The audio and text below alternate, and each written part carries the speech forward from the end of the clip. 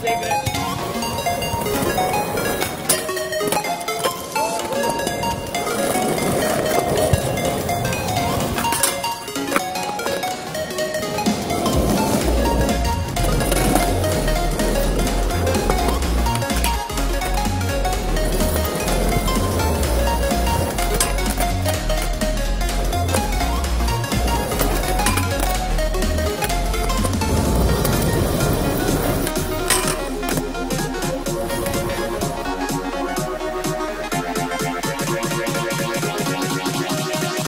Rail that I think that lasts longest are round rails because they don't get damaged as much. But flat bars usually get more damage sooner than because every time when you ollie onto it or do whatever into it, what happens is the rail gets weaker. It's gonna get pushed down and it gets bented out.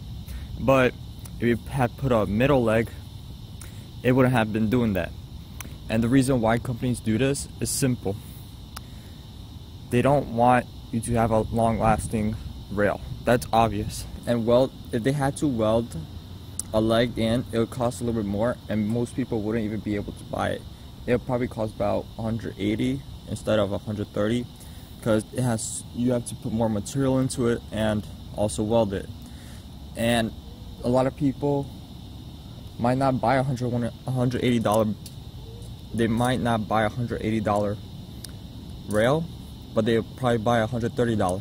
But the problem is if you actually did do that, weld a middle piece, it would last you probably three times longer than a rail like this, which has only two legs.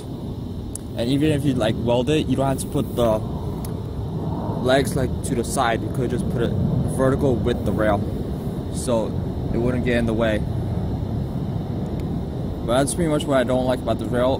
But I understand why companies do it, so could they could make more money off it.